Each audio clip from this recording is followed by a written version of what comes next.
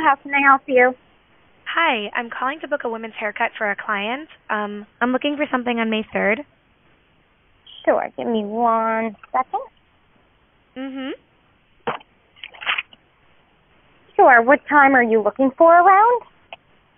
At 12 p.m. We do not have a 12 p.m. available. The closest we have to that is a 1:15. Do you have anything between 10 a.m. and uh, 12 p.m.?